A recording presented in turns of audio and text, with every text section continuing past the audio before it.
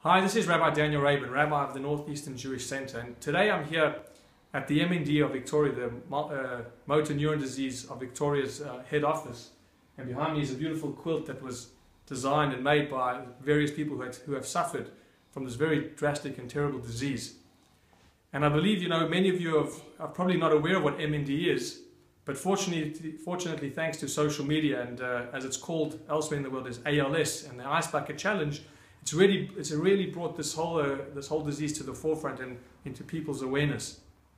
And I believe there's a very beautiful message from our portion this week, the Parasha of Re'eh, which I think relates to this whole social media campaign that's gone on about this particular disease.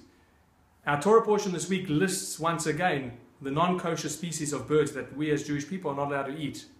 And one of those birds is known as the chasidah, which is translated as the kind one.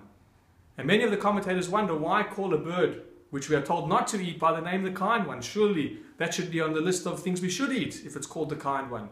And our sages explain that this particular species of bird was only kind to its very inner circle. If you belonged outside of its circle, it didn't want to know you. And, and even more than that, it may have even been cruel to you. And therefore, the Torah was telling us the right character traits we need to have is that kindness needs to really be beyond just your inner circle. You need to really care about all those around you. And I think that's what the social media campaign has tried to do to really bring to the forefront that there's out, other people out there who need our kindness. And I'm very fortunate that uh, uh, Kathy Nightingale, who's the, the manager of fundraising at the Motor Neuron Disease of Victoria's office, has allowed us to come here and film today. And I wanted to thank you for your efforts. And uh, if you could just tell, the, you, you, know, you were telling me earlier about this uh, huge expense that people have. Thank you. Yes, Rabbi. Um, in Victoria alone, there are almost 500 people that we've helped um, this past year with motor neuron disease.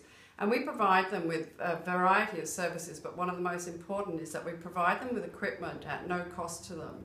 And this is a huge expense for people with motor neuron disease, so it's really important that we continue to get funding for that because we only get about 15% of our whole funding comes from the government. Amazing. And look, you know, those of you who are who have who have really done the ice bucket challenge and poured that freezing cold water over your heads like I've done and like many others, and Kathy's doing hers on Friday. That's correct. Let us really think about the kindness. And it's not just about throwing the bucket of water over our heads. Obviously, that's just gotten the attention. But go out there, do some kindness. This organization could really use your help, as you've heard. And there's many other organizations out there who are doing a lot of good work. Mm-hmm. In Victoria, this is the only one. And I think if we can take this message that the Torah is trying to tell us, we can truly, hopefully, heal the world as best as we can, and hopefully the research will find a cure to this really terrible disease. And as I said, you won't have to have another, a job over here. You can find another job or retire. I can retire. And may that happen soon. Wishing you a Shabbat Shalom and see you next week.